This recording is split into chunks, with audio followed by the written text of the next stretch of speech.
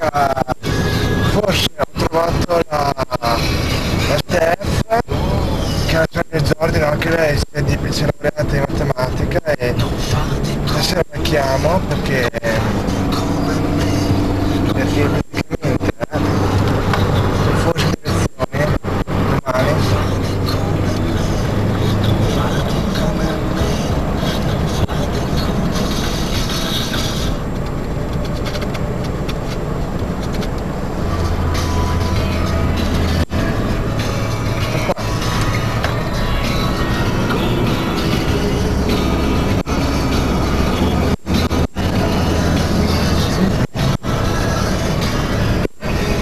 and